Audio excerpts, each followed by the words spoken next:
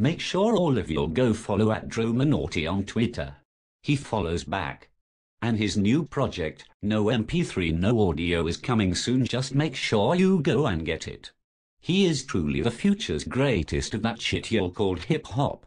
See me I don't like rap but this kid Dromanoti got real lyrics that y'all called hot 16s. Right. My favorite track is when Dromanoti said, Dro follow big time. That's my shit.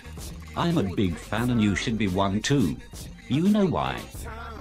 Because all the ladies are, even your girl.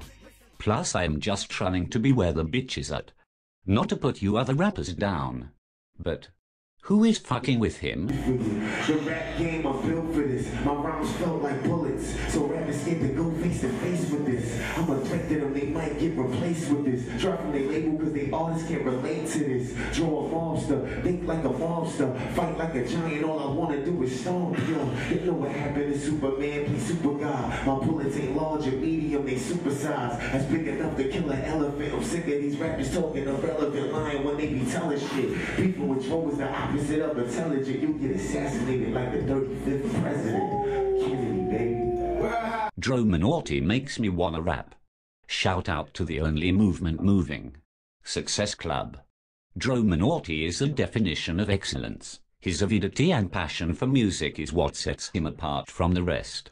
Dromanoti cannot be categorized as just one type of genre within his music, which is always what the world anticipates. Success Club is diversified and each member is so uniquely talented you would find it compelling if it were possible to compile them all into one orchestra.